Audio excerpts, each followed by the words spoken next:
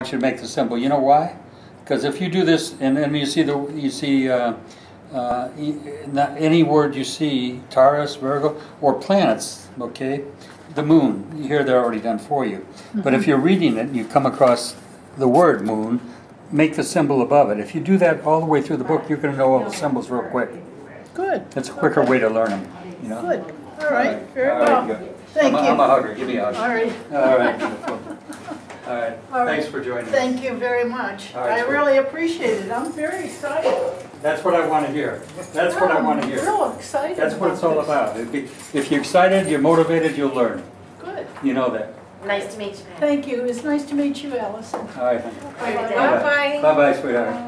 We'll see you next week. Study hard All right, or study soft. all right.